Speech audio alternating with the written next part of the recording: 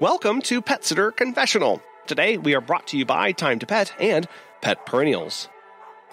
What does it mean to provide a personalized and positive pet care experience every time we're over?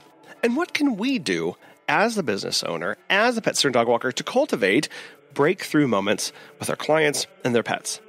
Today, we are super excited to have Alisha Riley, owner of Alisha's Pet Playcations, on the show to talk about how pet care is not a one size fits all solution and how that's a really positive thing.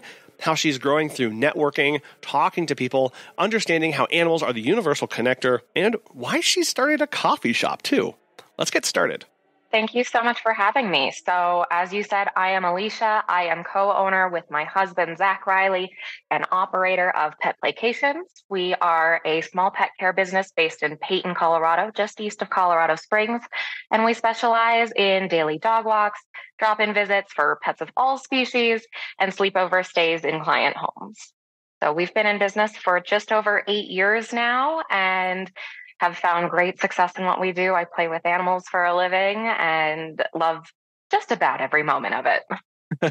just just just about maybe we'll get to some of those just about moments uh, later but as far as um, your your business you said you've been in business for 8 years what what what changed 8 years ago well, I first of all didn't have any pets in my personal home until I was about 15 or 16. So I always say that everything I've done since that moment is severely overcompensating for my lack of animals in my childhood.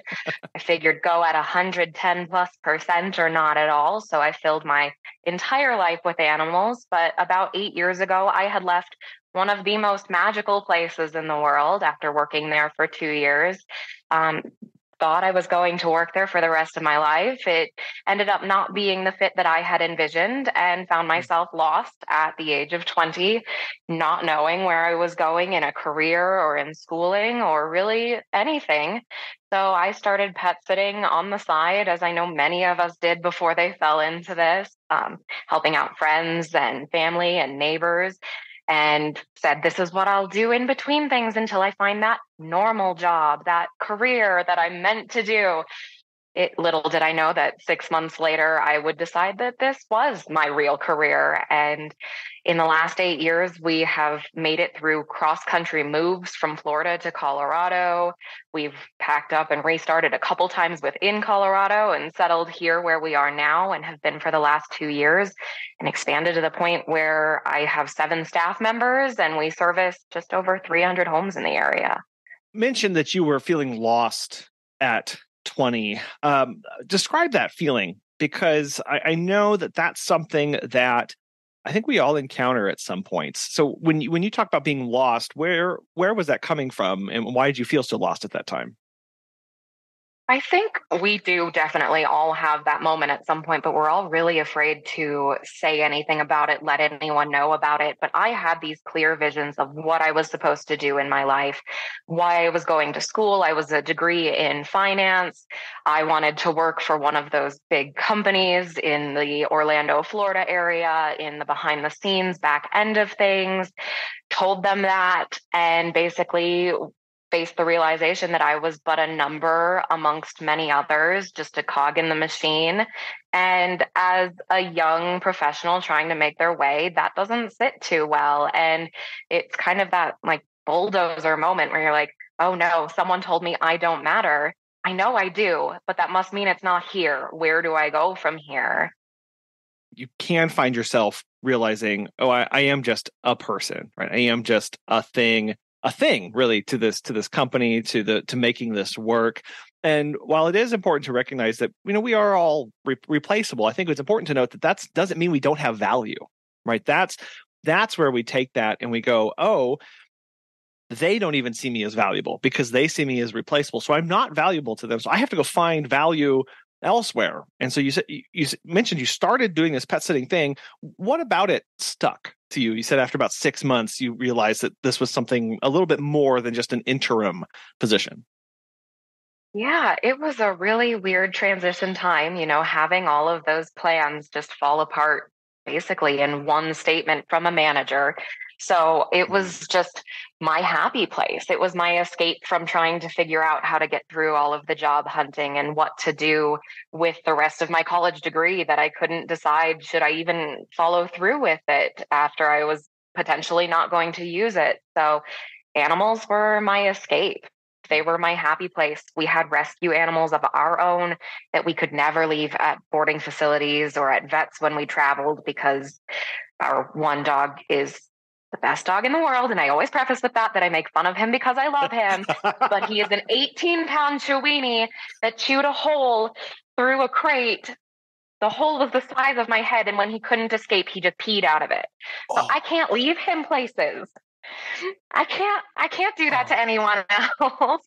I, if I went and left him at the vet, I know I'd be coming back to a sick dog or a damages bill from the vet themselves of like you your dog has caused property damage. I can't do this. So and a, and a cease and uh, desist letter, right? Yeah. right. Like take this, do not bring it back. And we've had him for 8 years and he has not changed one bit, but that was what we were told was the equivalent of crate trained. So he was our like personal moment of needing to figure out alternatives kind of brought us into this path of alternative pet care of someone staying in our home living with them or visiting them several times i turned to do it part time and it turned out i was really good at it because i have this high anxiety dog that i I get it. I mm. relate to it. And I could see that in other people's pets that they were in their happy place in their homes. And that if I could provide any peace of mind, I was in my happy place too. Yeah. Yeah, it's interesting how those experiences kind of shape they're very eye opening, right? When you go to try something for the first time, especially if you're like, oh, this is what everybody else does, or this is what it's is expected, or I expect to be able to do. And then when it doesn't work, it really puts you on that back foot to realize uh, that you feel that that your own anxiousness, your own anxiety start kicking up, and realize, oh, this is where a lot of people come from whenever I, they get on the phone with me. Yeah, absolutely. I mean, I still, at this point now, I'm fortunate enough to have the staff that I can rely on. But before that, the only people that were allowed to watch my animals were families. So when we moved from Florida to Colorado, we lost that option all over again. And even though I had been in this business as just a duo with my husband and myself, all of that anxiety flooded back when we moved out here of who watches my animals? How do I do this all over again? I don't have anyone I can trust. Yeah, uh, we've uh, we have a 15 year old dachshund named Kobe. We've had him for almost 12 years now, and yeah, in the time that in that amount of time, we've needed the kind of services that we offer. I think three times. Uh, and so it's very interesting to to say like we offer this service and it's one that we've even rarely used ourselves because of the anxieties that we have around our dogs. And and right now, kind of we're in the same position as you are now, Alisha, of having staff who can step in that we have personally trained, have our, have our oversight, have all of those things. And be like, okay, this is now a person who we can trust to step in and, and care for our own animals. Yeah, it's it's a weird thing to see it from both sides, but I'm I'm glad to know that the service that we provide is so valued and I've felt that on my end as well as the consumer too. Yeah. Uh, you, you, mentioned in your story there that you have packed up and moved and restarted several times. So you've restarted your pet care business a couple times. Is that right? Yeah, we actually started things down in Florida. Uh, we were more of that makeshift doggy daycare out of your own home, falling into some gray area about whether or not you should even be doing it. Um, and then after that, you know, six months of doing this on the side and as a hobby, we went through all of the steps of, oh, this is a real business. Now we need to get insurance and all of those fun business things, tax professionals, accountants, bookkeepers. Um, and as we were establishing all of that in Florida, we just had a moment where we knew that Florida was not where we wanted to spend the rest of our lives and packed up and moved to Colorado sight unseen. Neither my husband nor myself had ever stepped foot in the state. And that also meant packing up the business and trying to figure out how to start over with an entirely new service area and clientele. Did you do anything with the business preemptively before you got on the ground in Colorado, or did you basically just unpack it and try and start doing something once you were there? No, it would have been really smart to do some market research or some planning, but we were so enveloped and still, you know, pretty young. So when you move, you're more focused on getting all of the animals to the right places and the boxes to the right places and how do I afford the, you know, pod trucks to get everything out that the business was not i truly didn't know if the business was going to make the transition over. But as soon as we got to colorado and we realized what a pet loving place it was we decided to just kind of start word of mouth advertising get to know the vets and the pet care supply stores and stuff in the area and grew from there. That's it's interesting how effectively within the span of a year you had started two different companies right? We had just started in florida and then you moved and you just started a brand new one there in colorado what kind of lessons did you bring into that second time around um, after kind of doing some of those initial things in florida we had learned a lot and we're able to start things up pretty much exponentially out in Colorado. And I'm very thankful for that. We knew that we needed to have contracts in place, all of the safeties and securities as we were getting all of our new clients for the first time in Colorado. So we didn't have to cross any of those bridges having already had the clients in place and then trying to transition them over to different protocols. So hmm. everything was much more seamless as a business and seemed a lot more professional from the get go once we hit Colorado yeah, kind of had that nice clean start um, to, to really be be brand new in that area. Um, and so you said you started uh, marketing with going to visit places. What are what are some? Because I'm asking these questions because I see this these asked all the time about people who are moving, have a new job opportunity, or looking to be move, moving closer to family, but they've got this business and they're terrified about moving it and don't know how they're going to make it to a new location. Yeah, it's really scary, but there's a lot of ways to make it work and it's definitely worth it. I am a big believer in word of mouth networking. I am not tech savvy enough to social media worth anything, despite the fact that I'm not even 30. I never made it to the TikTok trend. I'm way behind on that stuff, but I know how to network in person. And there are so many amazing pet professionals in whatever area someone moves to that knows the area, that knows what kind of pets you're going to encounter, that can give you the little tips and tricks of how to become invaluable to the community, that those are the people you want to talk to and to become friends with because really they're a valuable resource. So we went and just started by finding the things that we wanted on the personal level for our animals. We were looking for a new vet because we had just moved. So let's talk to all of the vets in the area, find one that fits our needs. And in the meantime, mention what we do professionally along the way. We were looking for a groomer and a bather. So let's do the same thing all around, leave some cards along the way that we have, and just kind of get that earworm that we exist and we're happy to help propel anyone else's business in return for just knowing that we exist. Of kind of a back and forth is really what the animal community is about all around. Yeah, and that's a great place to start from. I, I know uh, I, even I will sit outside of a business and I'm going doing door knocking and introducing myself, and I'll always I have that question of like, how do I how do I talk to them about what do I do? What's my what's my opening here? How do I introduce myself? Where do I start? And to go to places that are a resource for you personally are is fantastic right? And i know not everybody who's in this business has a pet or is, is, is able to have a pet but think of it from the perspective of your clients. Where where would they want to be connected with? What information would they need to have? Who would they need to talk to? And approach it from that perspective of going hey i'm here to just get connected with the resources for pets in our community not just help me but also to help my clients. I want to introduce myself and say hi it, it it's much more natural of a conversation at that point. It really makes a big difference and like we have a connection out here where we are now that makes treats and we've had one that makes uh, locally sourced dog food where they were mm-hmm. making most of it in their home, but they were actually certified. And even if you don't have pets, those are great things of like, I have a client that's looking for a new alternative to dry kibble or is looking for a birthday cake for their dog. And I'm trying to do that research for them to make their life easier. So animals are the universal connector for pretty much all of us, whether you have one personally or not. They in, are in all aspects of our lives. So they're always a good talking point that will bring people together. they, they really are. Most, I mean, uh, it's it's amazing when we go and talk to people. Um, you know, they'll start pulling out their phone and they'll say, "Is it okay if I show you a picture of my dog?" And I'm like, "I'd be angry if you didn't show me a picture of your dog. Like, let's go."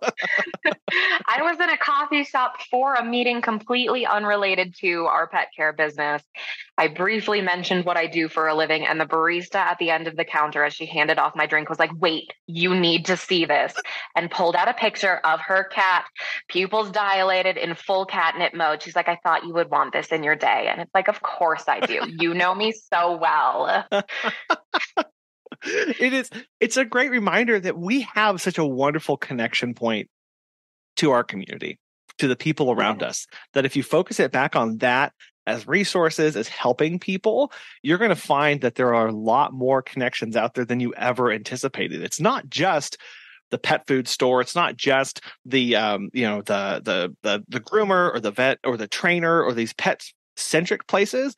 It's also places where the owners or the employees are pet fanatics, and finding them is kind of that extra step that you can really start building out that network. Yeah, definitely.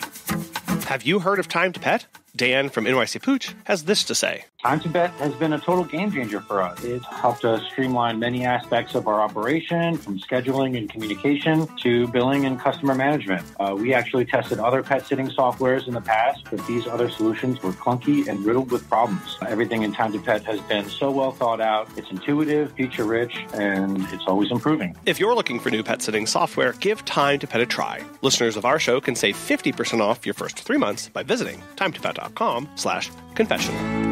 I, I know one of your goals, uh, Alisha, was to start uh, your business to provide a personalized and positive pet care experience. And, and I was curious, kind of, what what does that look like in, in your mind, and how do you execute on that?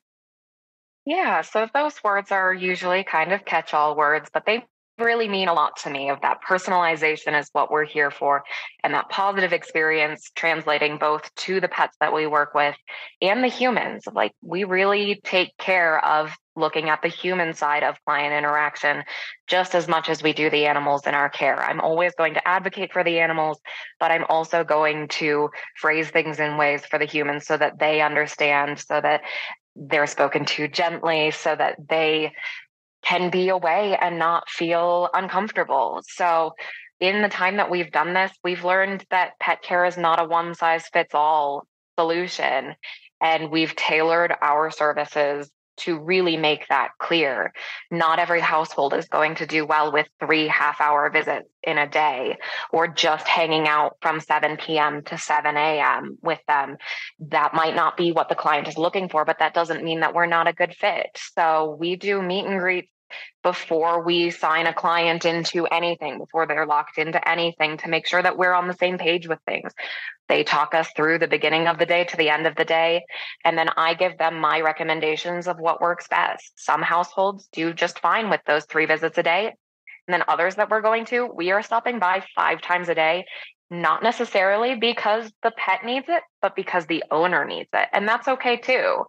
Um, we let our clients pick and choose how long visits are instead of just saying it's a half hour or not at all, or it's 12 hours at night or not at all. So I let them mix and match, which also lets clients feel like they have some control over the situation.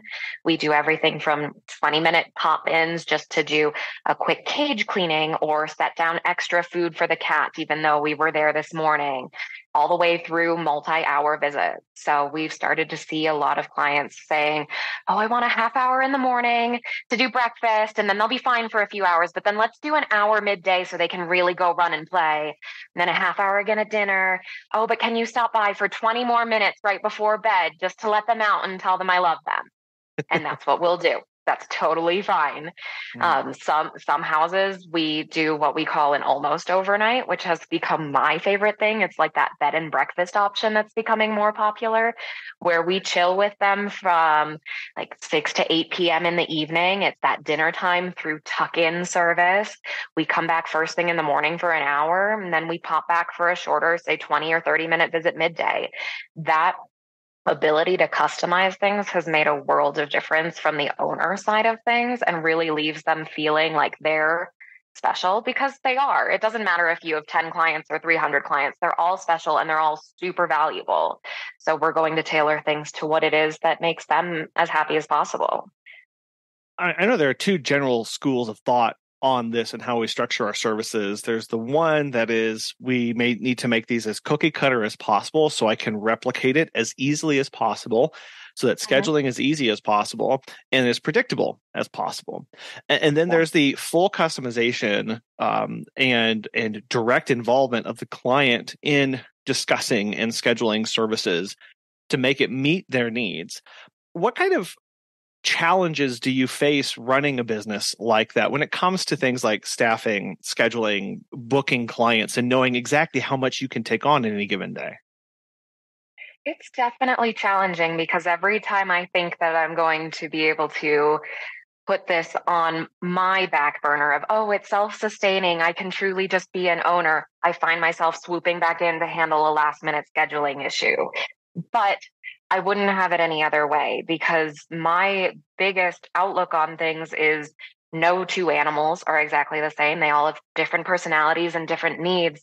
So the cookie cutter solution is going to leave someone out along the way. And if that means that I need to be more actively involved in my business, that doesn't sound like a bad thing to me. I want, I, I have control issues as is. So if it means I have to stay controlling of the business just a little bit, and that's really what I'm here for as an owner. I'm here to put out those small fires. I'm here to put out the concerns from owners or the I'm running behind moments from staff. That's my job. I started this business. I'm here to support everyone that interacts with our business, whether they be a client or a staff member or a pet. So the customized route has definitely made the most sense for us that phrase when you said I, I, started this business i'm here for support that is a, a change in job duties though right? At least like you you you you started this business and now you are in this management this support role to continue to make it work. Uh, how has that change been for you as as the business has grown and evolved I've definitely needed to learn how to be a better communicator along the way because that's really mm. what my role is now. Before I was a dog walker or a cat petter or a cage cleaner. And now, while I still do those things, those are in an act of support, like you said. Those are me jumping in to make sure that my staff stays on time or that extra little thing gets done. So I've really had to learn about all different types of communication. And that's been my biggest hurdle is I'm so used to doing things one specific way from when I was out on the front lines, doing things all myself or my husband helping jump in from time to time. But now that I have seven other people that are doing the job that I once did, it's me becoming the middleman almost of a staff's asking a question about a household, but the client is unreachable. So it's my job to help things run as fluidly as possible. And that's a big change from just leashing up and walking a dog for an hour at a time. It, it, is, and I know for many people, including myself, it can be frustrating sometimes to to go, "Oh, I didn't, oh, I didn't want to be figuring out how to solve this, you know, broken lock this morning, or what? Why is this an issue? This why am I?" But right, like it's like that's not why I start. I didn't start to help somebody figure out an alarm code at 6 a.m. on a Sunday. Like that's uh, truthfully, I mean, hand on heart, I didn't do this. but I think you've been following me around these last few days talking about lock issues and alarm codes. okay. yeah. Yeah. It's just in the air. I think it's just the season. But it, yeah. but yeah, it's going reflecting and going, okay, that's not why I started, but it's one of the reasons why I continue. It's because I am supporting people in our mission, in our values, in executing on this high level of care that that I know we can provide. And that's what I get to do these days. And that's what I get to do to serve my clients, my staff, and the pets. I really like the I get to do in, instead of the I have to is, is really how I try to approach each day. I'm not the best at it every single day, but it's where I try to return to if I get to do this. I never in my wildest dreams would have thought that I would start a business at 20, almost 21, and still be running it almost a decade later. Mm. I never thought at 20 that I would be paying the paychecks of seven other people and supporting the number of houses that we do in our community but that's where I've found that I thrive is in serving the community and coming back to that that aspect. So I'm okay with being that support person. I'm okay with figuring out why the alarm is still screaming at you 30 seconds later when you definitely entered the right code. That's what I'm here for.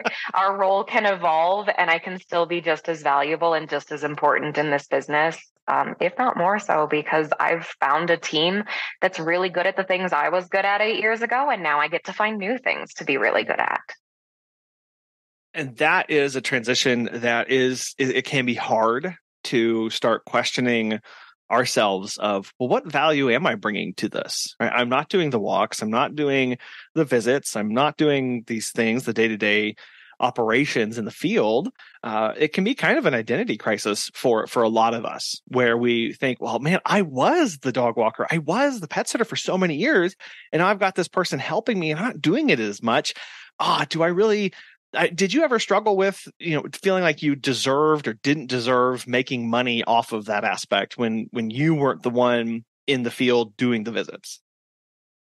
I have had imposter syndrome since the moment i started this job whether i was physically doing the walks or i'm sitting on the back end answering the emails. So there's always that little bit of doubt and the initial stages of hiring were quite the learning curve of making sure that i got the right people in. But once i did any of that guilt of do I deserve to be benefiting off of this? Do I deserve this or that went away because I mm-hmm. could look at the team that I've curated and say, I made that.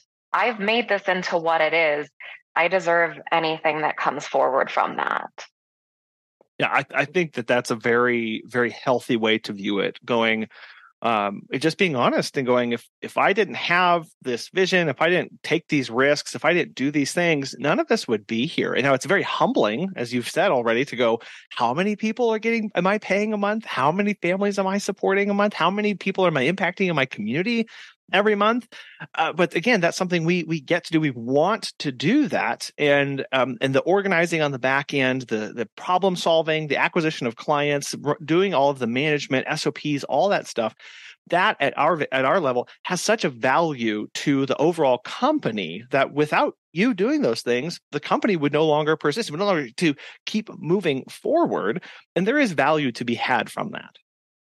Absolutely. Yeah, it's definitely been a rewarding experience. It's been a crazy experience, and I've learned a lot along the way and made plenty of mistakes, but that makes it all the better. yeah. Well, uh, you've mentioned community several times already, and and you're really you really are integrated into your community in Peyton there, uh, and I know you do an awful lot of uh, events and community outreach. You know, why do you find a need or, or want to do those? Well, like I said, everything comes back to community. Our clients are part of our community, our staff is part of our community, the animals that we're serving make up our community. And we out here are pretty rural still. We're east of Colorado Springs and and growing, but there's still this tight-knit feel out here. So to work your way into that, you need to earn it. And that has been one of the biggest things I've learned out in this area is you need to get to know your neighbors. You need to get to know, you know, the the shop owner down the street. It still has that small town feel in a lot of ways. And one of the ways that we do that is being part of like our harvest festivals in the fall and having a booth set up there so that people can know we exist or networking with rescues is one of my passions. Uh, my husband and i volunteer at a couple different rescues and i if i actually gave myself a paycheck every month most of it would go to rescues in the area. I don't the struggles of a business owner. I know most of the money goes there but there's no actual paycheck. Sure. Um, but we like being part of those little things where we're getting out there and saying we exist, but we're also doing good. Um, mm. We have a lot of initiatives throughout our business to give back to environmental causes or to rescues in the area. We have been part of like the local dog jog where they go run a 5K and then they do a little festival at the end. We took our dog to a rough and mudder where they got to do like the the tough mud 5K. He got all down and dirty with us, and then we set up a booth and found a few clients along the way from that. Mm. But word of mouth means a lot in a small town, so mm. we've just tried to fully embrace it and being part of the community. Like I said, is our goal. So what better way than to go show our faces and show that we support the other people that are out here too that that general support is really important uh, in those in that kind of area. I know you mentioned you're you're pretty rural. What kind of population are you are you able are you serving out there? You know, I need to look up the numbers because it changes every year pretty rapidly. And we've only been out here for about two years, but I think we're still technically considered an exurb. So, not yet a suburb, but not really rural anymore. We've got more than just one grocery store down the street, but the really big guys haven't made their way in yet. sure. Yeah, and and I think part of that too is just what I hear from from what I'm hearing from you, Alisha, is just a lot of community pride. Right, you like seeing these things, you like supporting. You're you you're proud of the support that you're able to bring there with your business and serving your clients, and so having a physical presence, having being being a face in the community is exceptionally important as business owners to be there to show up. I know I used to struggle on, oh, do I go to this event? Do we not go to this event? How many people are we going to get from this? We've oh, we went to that other one and we didn't we didn't sign anybody up from that. So I don't know if I want to keep going to these events. But really, just being a face there at the little dog, you know, bark in the park event or at the downtown dog run or at this stuff, that's really important that people see you. They recognize where a lot of this recognition comes from and knowing that you are a member of that community there to support others. Yeah, really. I mean, even if the person that's at the dog jog isn't your client down the line, their neighbor might be because that person remembers that you were there and that you were out supporting the rest of the area by just showing up. I've also found it's really important to do these events, even though we we don't do a, a whole lot of them. We do we strategically put them throughout the year, but we've found that as we've had staff, it's been exceptionally important because some of our clients have only met me personally once, and then it's staff coming and going from their homes. So to be able to circle back around and see me uh, in the wild is really reassuring to them of like, I do still exist. You're mm-hmm. you're still here. Yeah.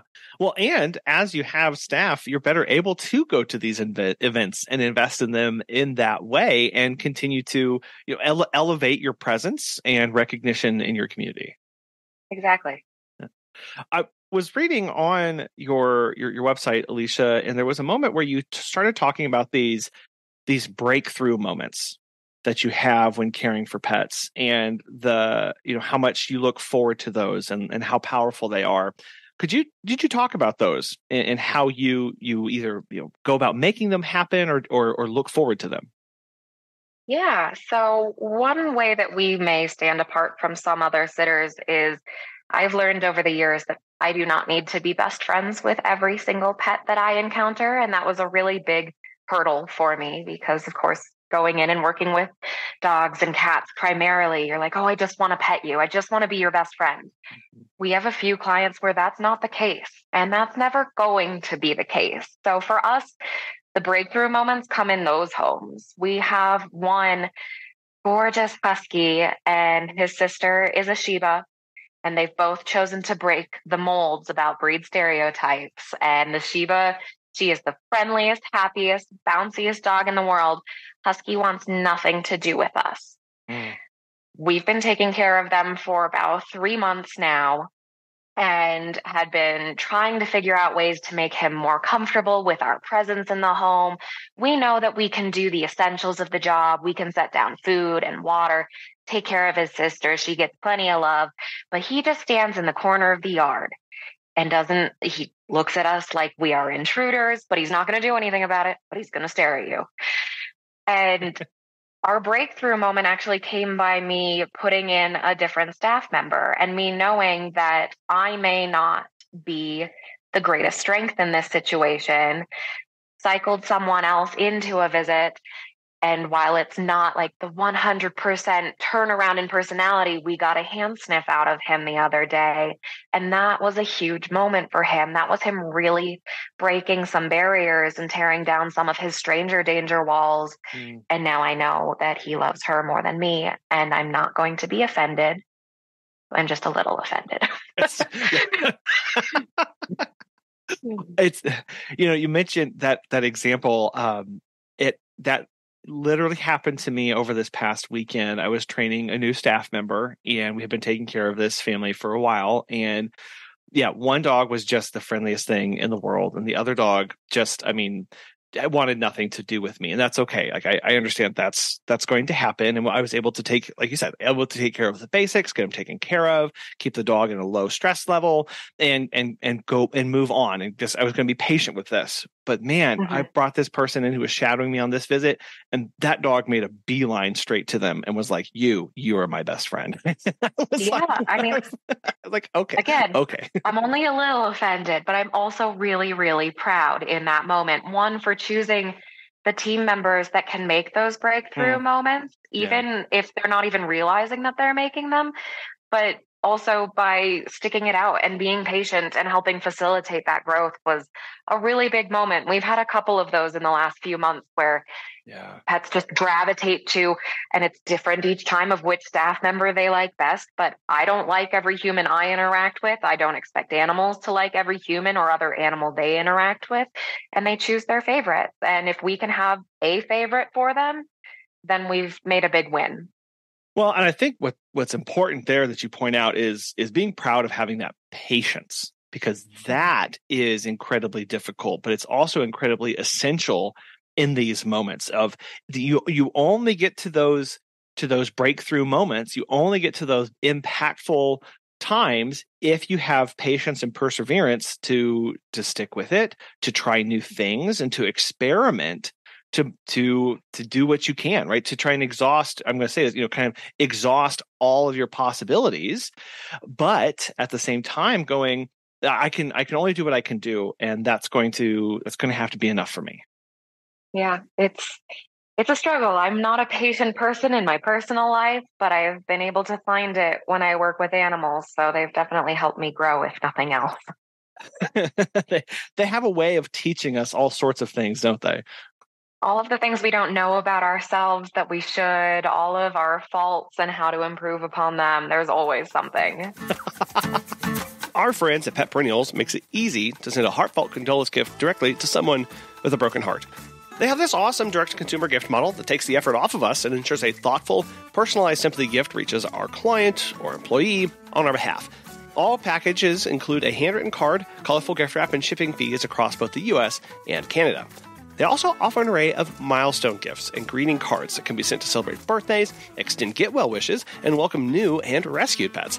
Additionally, there are gift choices in case you need to send a sympathy gift in memory of a special human client or celebrate a pregnancy, engagement, or wedding of a pet lover. If you're interested, register for a free business gift perks account. Unlock the all inclusive discounted package prices. Since the service is used on an as need basis, there are no monthly or annual obligations or minimum purchase. Learn more at petperennials.com, check out their business programs, or register for a free gift perks account by using the link in the show notes.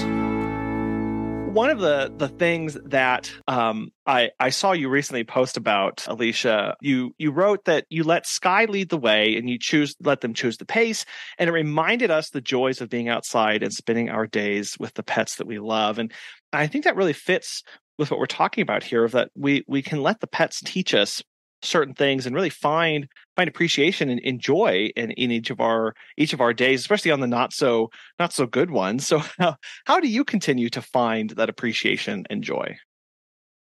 I mean it's like you said i let the pets lead the way. I have found myself too many times trying to just back to back to back. I've got a half hour visit then i've got an hour visit then i've got a half hour and i just need to go go go. And then i'll come into a house where the dog is still asleep when I've entered the door and they are not ready for what I am bringing to the table. and it totally resets me of like, I need to chill. I need to mm. reset a little bit, breathe, and just go at this pet's pace. And it's made a world of difference honestly in my personal life too, because I am not a chill person. I am not a patient person. and animals keep reminding me that I need to do that more. Um, but in the last few years, I've had I think what a lot of us face after just so many years of a lot of burnout and compassion fatigue of can I take more on? Can I keep doing this? Am I going to keep doing this? And it's those moments where I just let an animal lead a visit of we're going to do what you want to do today. Whatever that may be, let's do it. And then I find that I really still love what I do. Mm-hmm.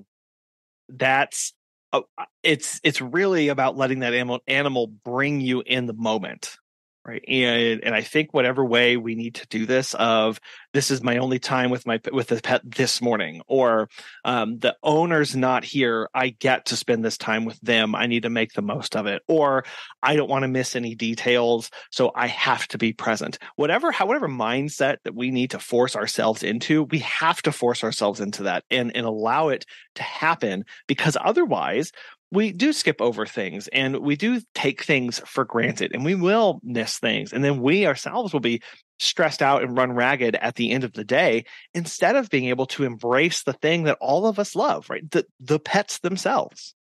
Yeah. I mean, we all know that this is a really challenging job some days, but it can be and should be super rewarding. It's being able to spend time outside and being able to communicate and empathize with animals and make their days better and make other people's days better by giving them peace of mind. So we do so much good.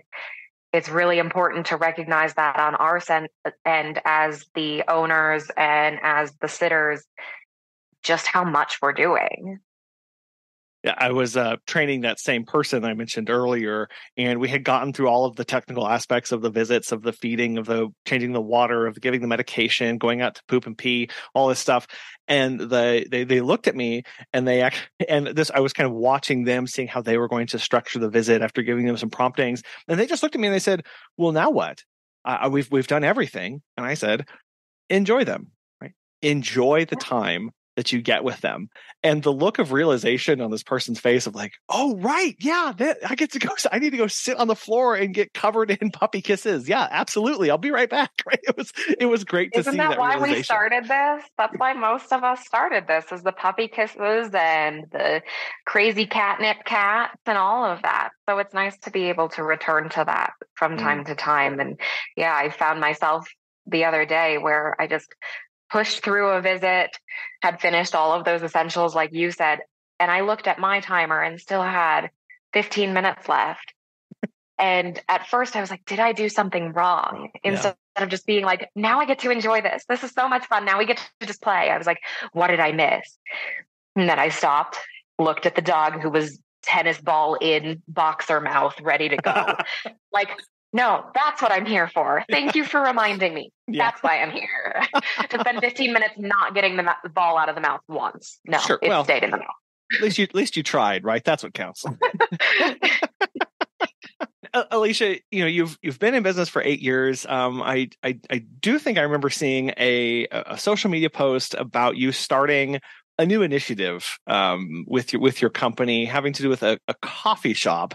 And so i i, I want to hear more about these these details of, about this and kind of why this was important for you to start.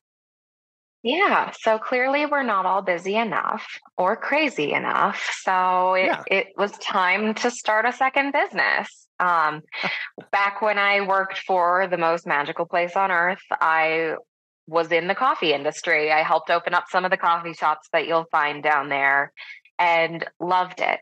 I have a strong passion for animals and I have a strong love of a good cup of coffee. Now, where we are talking about it still being fairly rural, the only things out here are those couple of big chains that we all know and I will not name. So it's it's just one of those things of talking about the community, my love for that, my love for animals, my love for coffee. It was time to bring everything all into one place.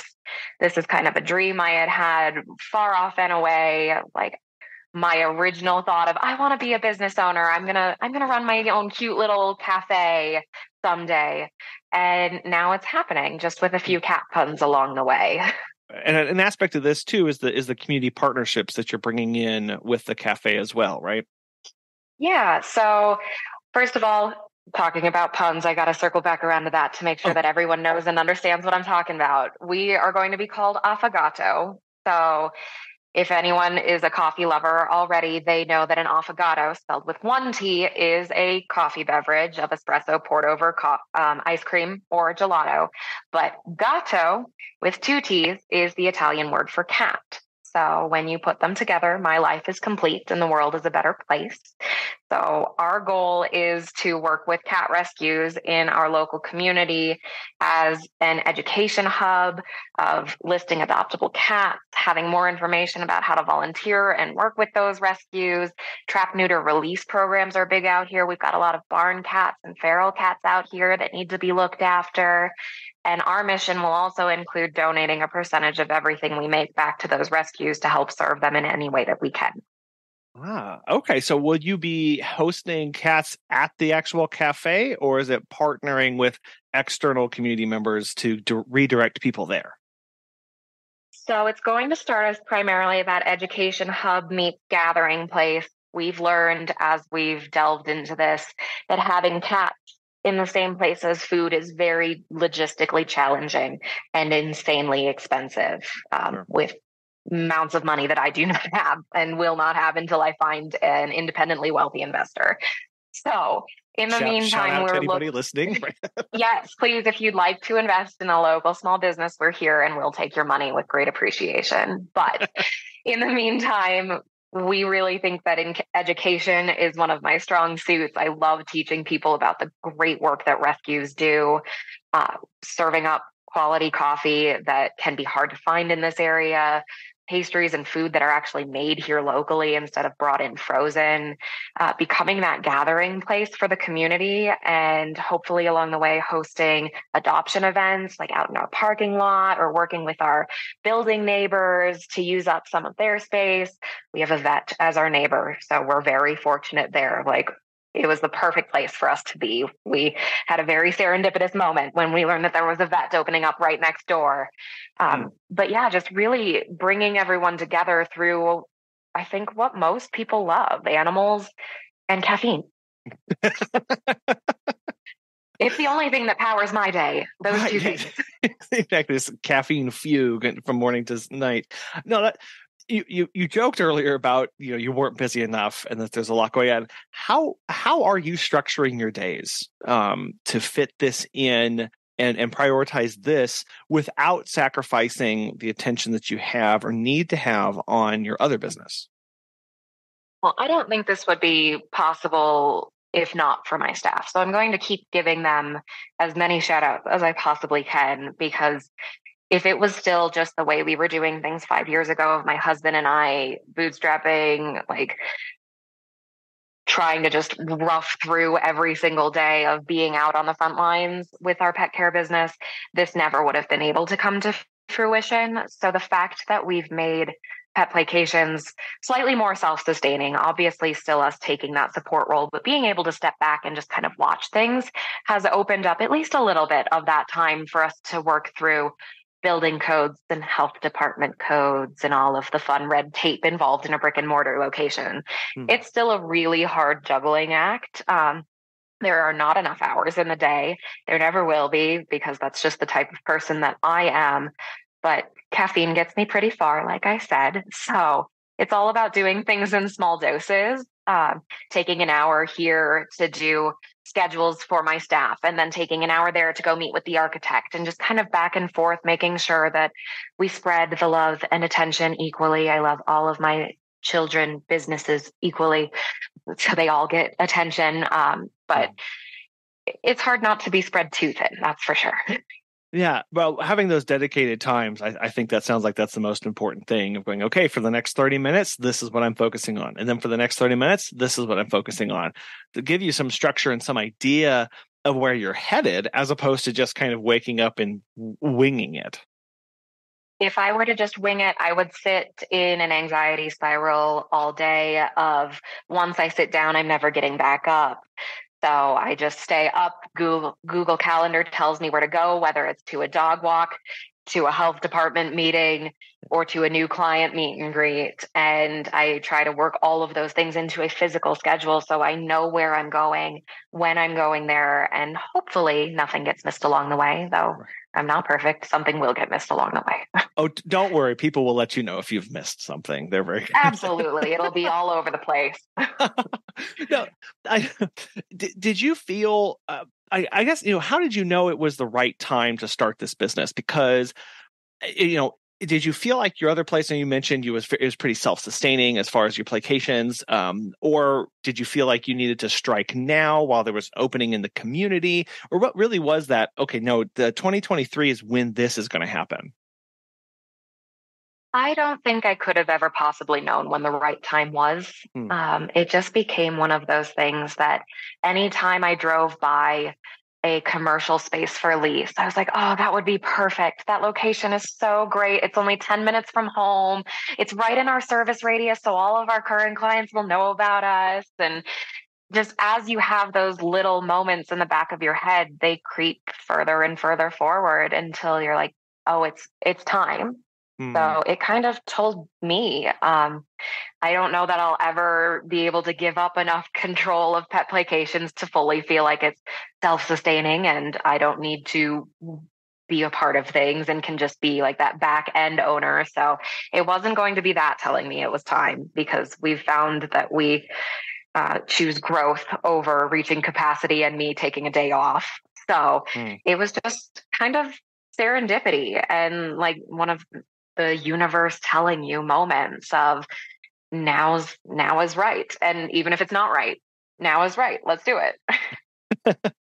Well and that's a that's a huge thing right? That takes a lot of of courage. It, it really does to now step out into a second business. When you when you think about eight years ago, being as you had mentioned earlier, being lost at 20, not sure in which direction now. And now this is a very confident, bold step forward. I mean, you think? I mean, I know you mentioned you know never imagined twenty years or eight eight years ago what was going to happen. Um, but like, I mean, did you see yourself as being a serial business owner, an entrepreneur at this point?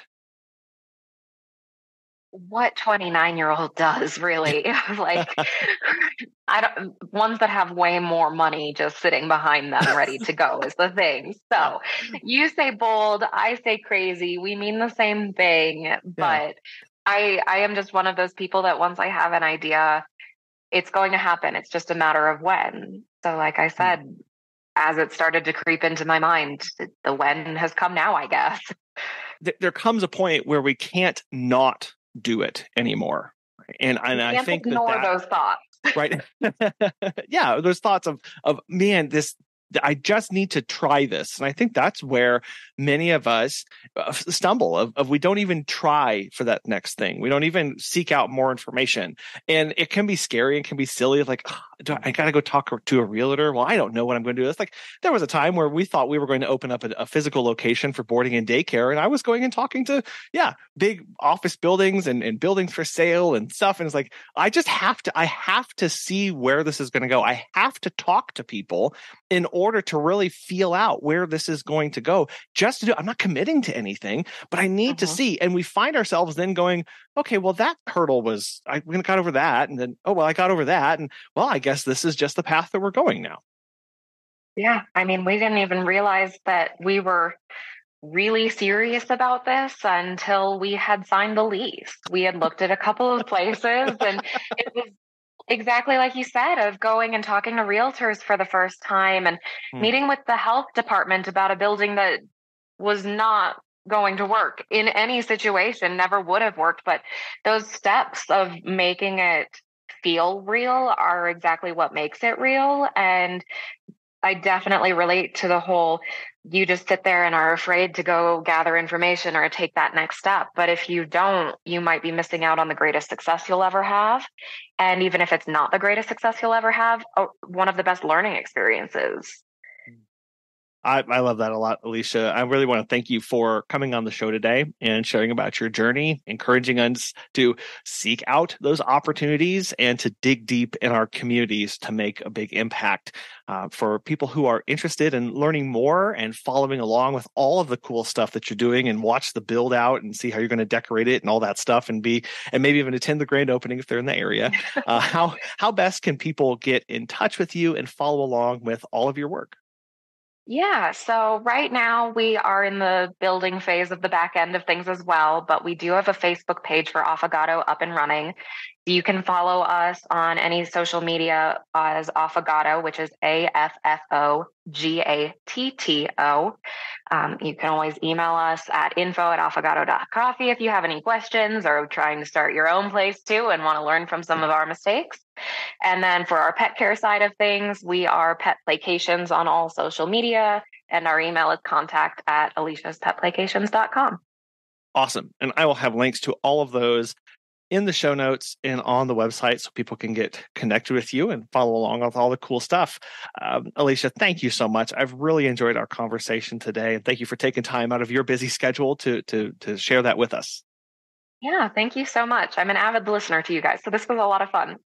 How do you see yourself fitting into your community?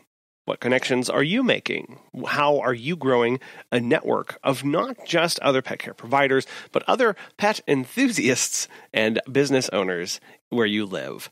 As we approach people, as we take the best thing that we can in the world, the pets, the animals that we care for, and we share that in that community, people can't help themselves but want to be a part of it lean into those connections, develop and dig deep into those relationships that you make so that you can make your community a more pet friendly and more pet accepting place for your clients. We want to thank today's sponsors, Time to Pet and Pet Perennials, for making today's show possible. And we really want to thank you so much for listening. We can't tell you how much we appreciate you. We hope you have a wonderful rest of your week, and we'll be back again soon. Thank